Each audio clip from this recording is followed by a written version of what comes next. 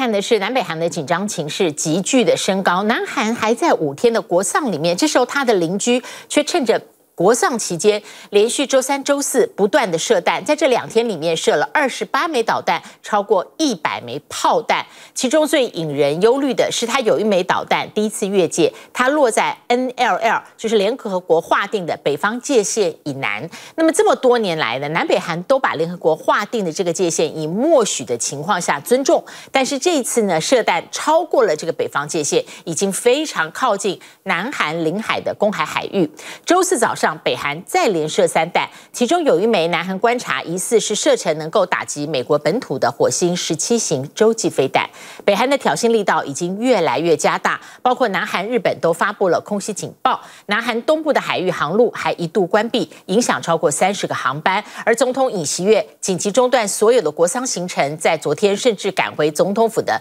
地下碉堡开会。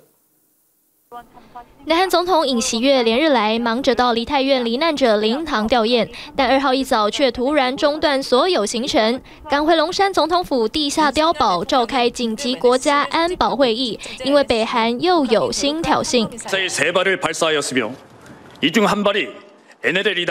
北韩从二号早上开始就不断朝周遭海域射弹，其中一枚坠入东海北方界线以南，虽然没有落入南韩领海，但距离南韩树草市仅五十七公里，距离玉林岛一百六十七公里，十个小时之内总共发射二十五枚导弹。与此同时，还朝北方界线北部海上缓冲区发射一百多枚炮弹，让朝鲜半岛紧张局势大幅升温。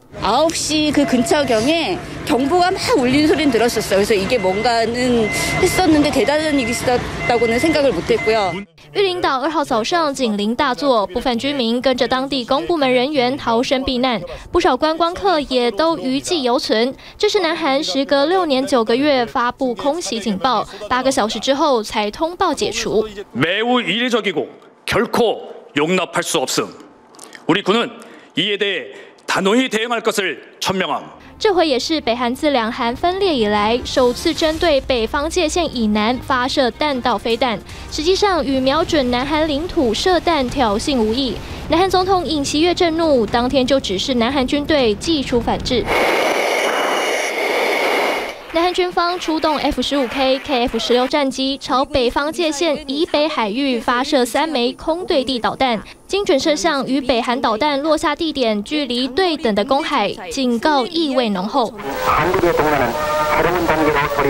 一九五三年签署停战协议之后，联合国单方面划定北方界限，虽然未获得北韩承认，但多年来被视为两韩非军事区的海上延伸范围。期间从未越界的北韩，这回选在南韩发生梨泰院事故之后，又发起高强度武力挑衅，显然没把国际制裁放在眼里。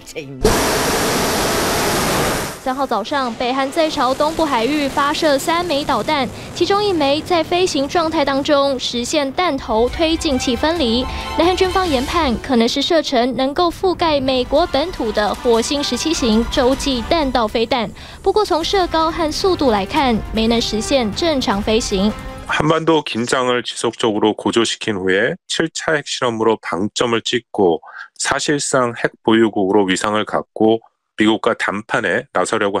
南韩专家认为，北韩就是想要引起国际关注，透过炫耀核武，以永和国的地位威胁国际社会解除制裁。海北联军动员超过两百架军机，正在进行警戒风暴联合空中演习。因应北韩连日挑衅，已经决定延长演习时程。